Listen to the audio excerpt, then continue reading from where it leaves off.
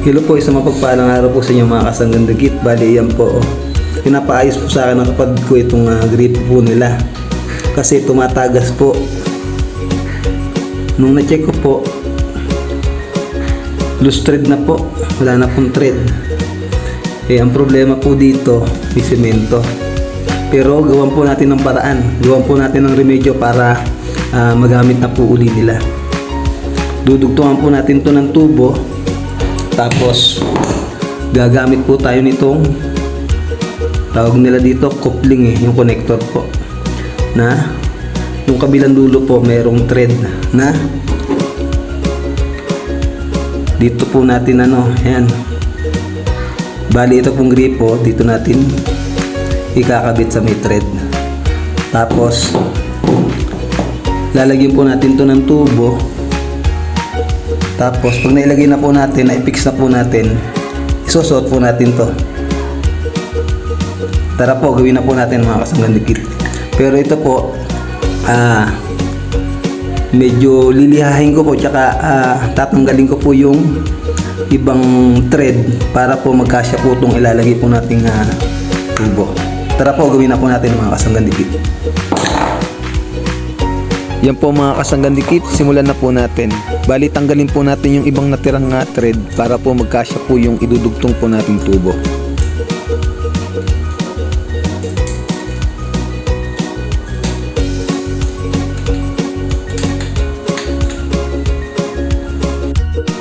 Dapat po kasi hindi po pinakain sa semento yung uh, mismong may thread niya dapat po uh, nakalabas po sa semento.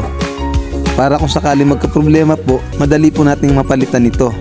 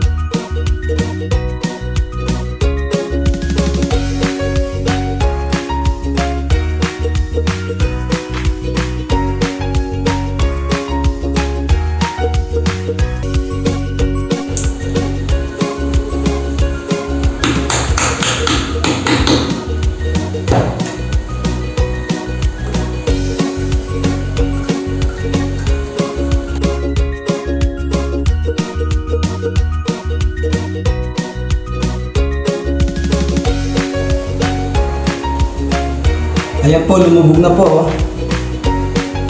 Bali, ilalagay na po natin ito. Putulan po muna natin ito, yung tubo.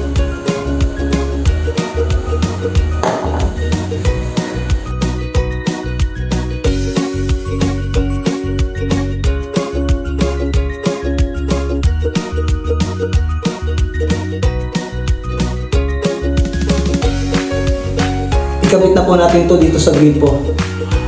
Para mamaya po may aalin po natin tong gripo. Lagyan po muna natin ng teflon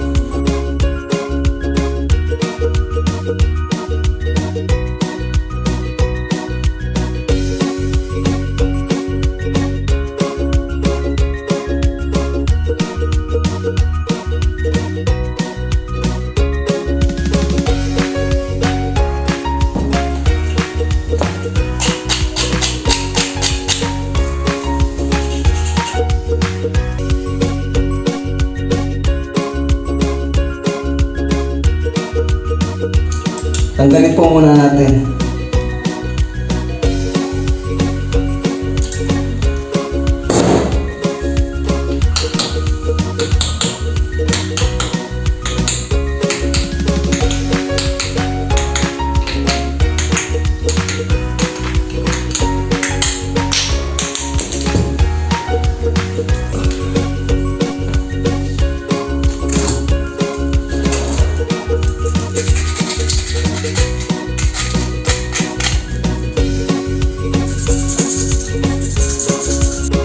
Yan po lihain po natin para mas lalo pong dumikit yung ah, PVC pipe cement na i-apply po natin.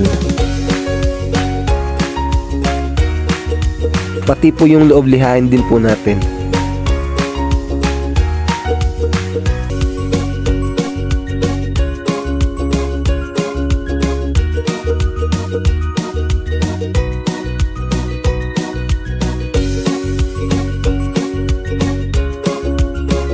Applyan na po natin itong butas ng ah, PVC pipe cement.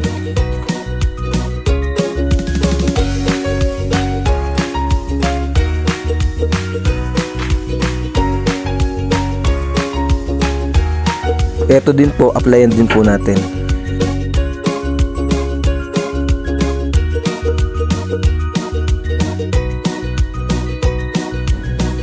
Pasok na po natin.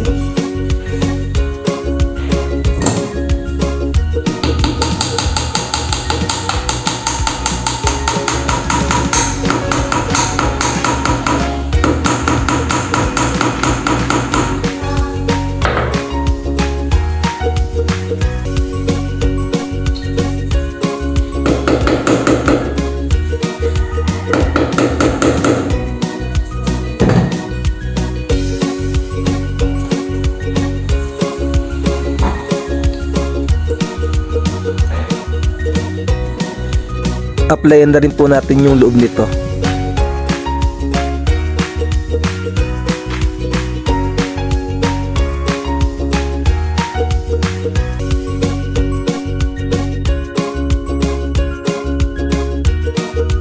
Applyan na rin po natin itong tubo mga kasanggan dikit.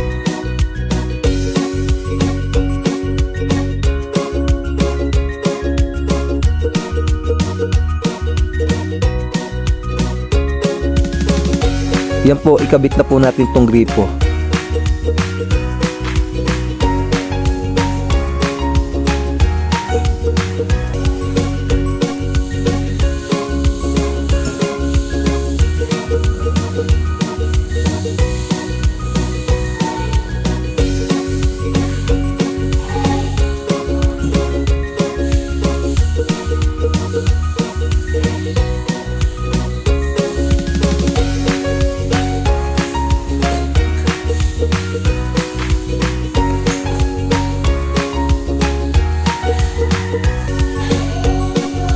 Ayan po mga kasanggan dikit okay na po siya.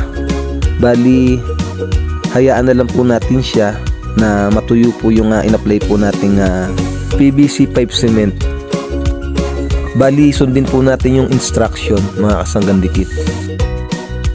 Ang nakasulat po dito, hayaan lang daw po natin ng 24 hours para siguradong uh, tuyong-tuyo na po yung uh, in-apply po nating uh, PVC pipe cement sundin po natin yung instruction para hindi na po siya tumagas pa, hindi na po mag-leak para magamit na po ng kapatid ko. Ayan po mga kasanggan dikit, okay na po siya. Bali bukas na po natin siya tetestingin. Hayaan na lang po natin siyang matuyong mabuti. Yan po mga kasanggan dikit, pinatuyo po natin siya sa loob ng ah, 24 hours. Bali binuksan na po yung gate valve sa taas. Ayan po, wala na po siyang leak. Dito po siya tumatagas. Ayan po, meron na pong tulo. Oh. Wala na pong leak. Okay na po siya, magagamit na po ng kapatid ko.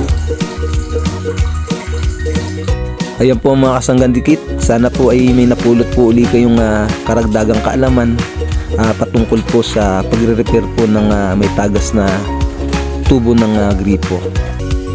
Maraming maraming salamat po sa patuloy na suporta at uh, panunod niyo po ng aking mga videos. Isang mapagpalang araw pong muli sa inyo. Lagi po kayo mag-iingat at mabuhay po kayo. Pakishare na lang po para makatulong din po sa iba.